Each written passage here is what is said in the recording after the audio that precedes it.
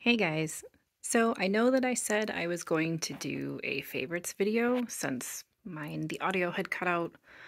Um, if you saw my community post, I had shared about that and said that I was going to be uploading it sometime in the next few days. However, I'm really struggling to find the time to make that work because I am actually about to head out to Washington to take care of some family stuff. But I did want to get a video out for you guys and share a little bit of a project that I've completed lately, and I thought that it would be really fun to show you.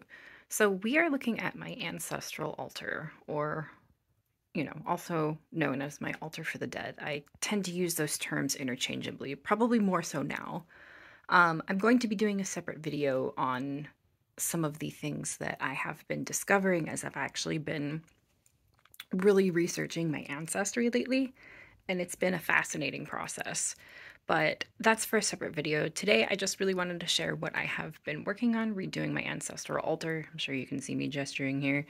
Um, so first things first, up here, I decided to make a little spot for my beloved pets. So as you can see, Luna and Prue are up there. And then I have some um, some of my childhood pets too. I'm, I actually just went through and pulled out some photos that I'm going to be putting up here as well. And then I'm also going to be putting a picture of Freya up here embracing some cats because when I like to think that my kitties go to Freya when they pass. So if you've been watching my channel for a long time, you will have seen Luna and Prue. They were my cats that I got when I graduated high school. And um, they both lived to be 16 and 17. They died six months apart. They were sisters.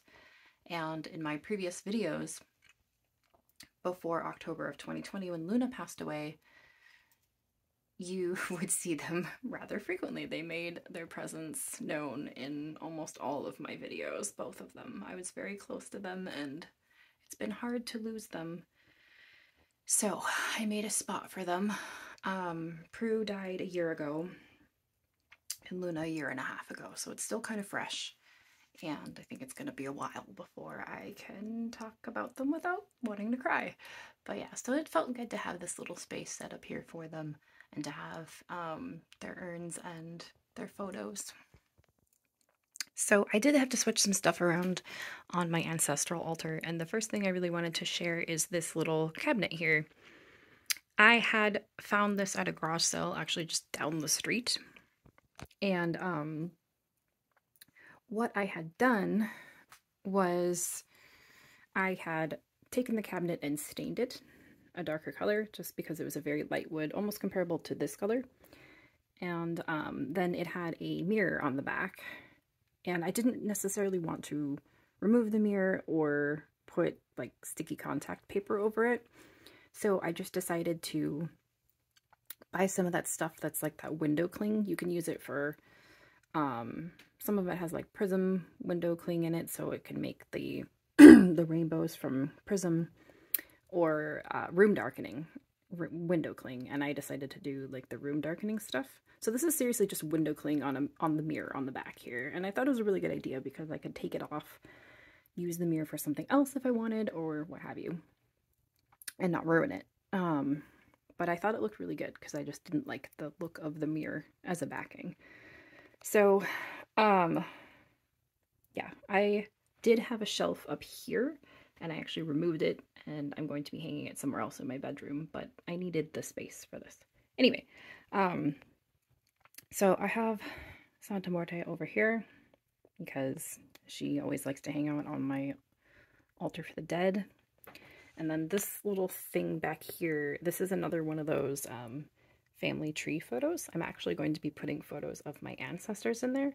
However, when I purchased it, it came without the little frames, which I found a way around, um, and the actual stand base. So I have to make a, a base, and I'm going to be doing that. And as soon as that's done, then I can hang all the photos. But for now, it's just going to hang out there for now. Um, so I have her space here. Uh, this is actually a statue that I made for her. And then we have like rocks and things from Mexico, and uh, this is a sugar skull that my brother gave me when he went to Mexico. Kind of started this whole thing with her, as weird as that is. And then this is a monarch wing that I found. Um, so yeah, this is my ancestral candle here. And then right here is water that I always keep on my ancestral altar. These are prayer beads that I actually made for my ancestors. And this is a candle that I burn for my mother. And then I don't know why I keep this labradorite on my ancestral altar. I just do. This is a photo of some friends that I had when I was really young. There's me right there. But uh, the the girl in the middle was one of my best friends growing up, and she committed suicide in 2019. So I just kind of keep that there because I miss her terribly. Um, this is my Memento Mori Oracle by Claire Goodchild. I use this for spirit communication. And then this is a little tree that has some of my my great grandparents, my great grandmother, my grandfather, my mother, and then Luna and Prue. I'm probably going to switch out some of the photos a little bit in here. In this little cabinet, well, first things first, up here is a lantern that I always burn when someone passes. And it's hard to combat the glare on the glass. Let's see if I can... Maybe? Yes, that's a little bit better. These are photos of my mother and I, and then there's her urn. And I have some rocks and stuff from Washington and some shells. Um, in here is some of my grandfather's ashes and one of his guitar picks. As a photo of my grandfather playing his guitar.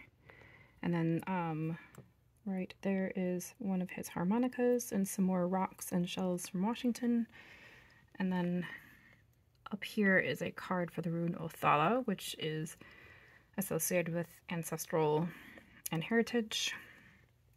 That is a necklace made by the wonderful Tara from Kittens, Weights, and Tarot. That's supposed to be like a mini ancestral altar that you can wear on your person, which I love, but I keep it here when I'm not wearing it.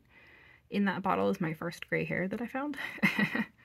this is a little statue of the Disir, which are your female ancestral spirits in your ancestral line. They're protectors and guiders in the Norse, and um, yeah, guidance in the Norse tradition. These are more shells and rocks from Washington, and then that watch there was given to me by my uncle when I was little. He passed away when I was nine. And then this is his brother, my other uncle. So these two are both my mom's brothers. So mom, uncles. I should get a picture of my other uncle too, but um, that is my uncle Steve. He passed away just this last summer, kind of suddenly. So my mom's whole immediate family is gone. As of last year, I lost my uncle and my grandmother in about a month of each other. So it's been kind of rough. And that's one of the reasons why I'm going to Washington in a few days. Um, up here is a little jewelry box that's got a couple of necklaces that my grandmother gave me. And then there's a photo of my grandfather and my grandmother holding my hands and helping me roller skate at their house in Seattle. That is my grandmother's engagement ring. And that is my grandparents. I love that picture because they look so happy. It's so hard with the glare though. There we go. Although you can kind of see me there. Hello. Um, and then this is a, a card from the uh, Oracle of Echoes. I really, really love this depiction. So I keep this card in here when I'm not using the deck. This is my great-grandmother on my father's side. She died when I was 16, and I knew her very well. So this is one of my favorite pictures of her and I. Uh, this little sake cup is from my great-uncle, her son. He actually just passed away last year too, so um, that was one of the things that was left for me. So I keep that too there for him. And then this is my great grandmother's engagement ring, which I also inherited. So that is sort of just a little quick tour of my ancestral altar and the updates that I've done on it. I just wanted to share that with you guys because I went through and did this fun little project with this uh, little cabinet and I really like how it turned out. I'm very proud of it.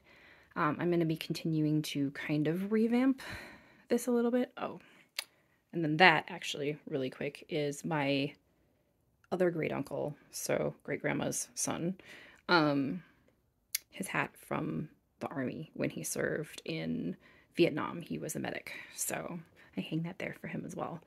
Um, but yeah, I will continue to do more updates on this, and then I am going to make a video kind of sharing the things that I've discovered in my ancestry and some of the problematic issues that I've ran into and um, all of that. I don't know when that's going to be coming out. I don't know if I'll be able to get it done before I go to Washington or after. But yeah, I did want to share this with you guys just to get something out here to show you what I've been doing.